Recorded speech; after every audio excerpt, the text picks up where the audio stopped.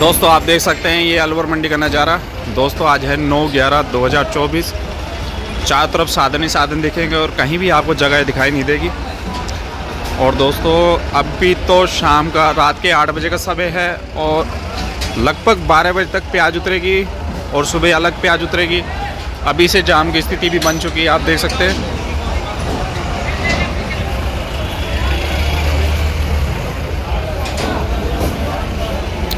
अभी फड़ों पे प्याज उतर उतर भी चुकी है और अभी तो आठ बजे का समय है।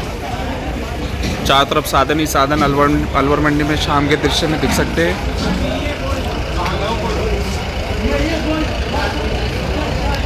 तो ऐसा लग रहा है सुबह दोस्तों बम्पर आवक आने की संभावना रहेगी अलवर मंडी में।